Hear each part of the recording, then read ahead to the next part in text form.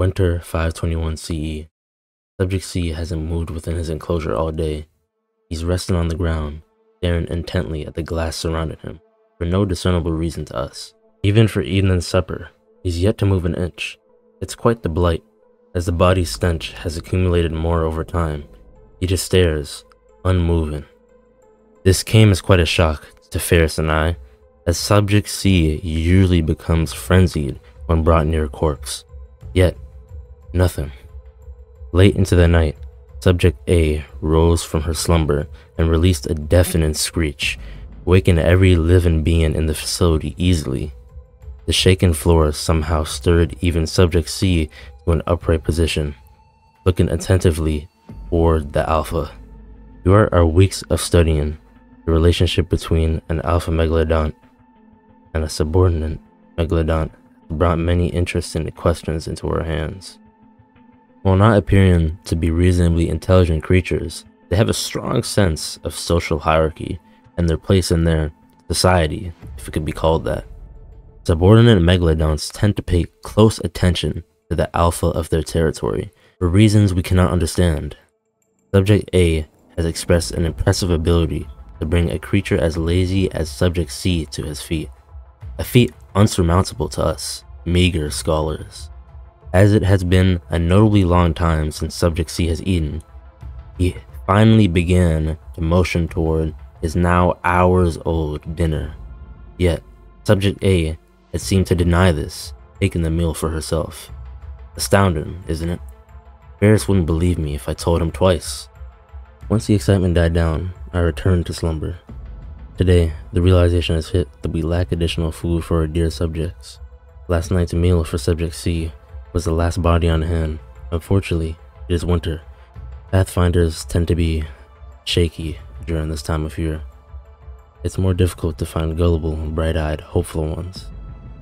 During the last winter, we prepared a surplus of bodies in preparation for this. This winter, however, we became careless. Too much time spent on experimentation and studying, of course.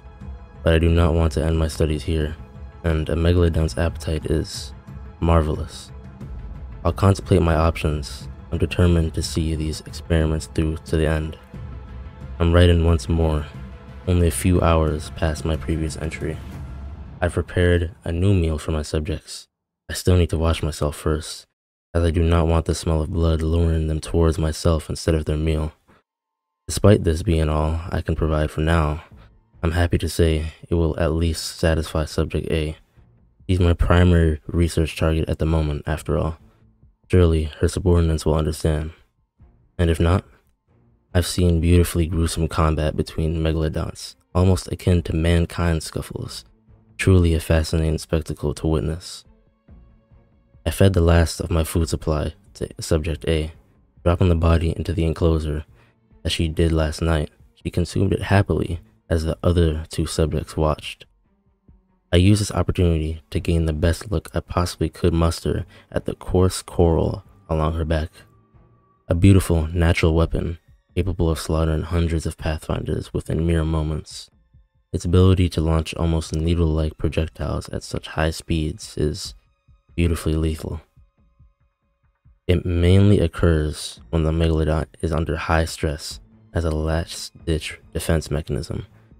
I fear I have stared too long though, as the other subordinates seemed more interested in me than ever before. I made sure to engage in a swift exit. There's something marvelous about these creatures, some sort of almost mankind-like understanding between each other, yet to us, they're simply considered monsters.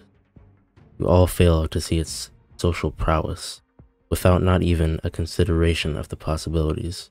What if we were able to exploit this hierarchy for our own purpose? For my own purpose? For your own purpose?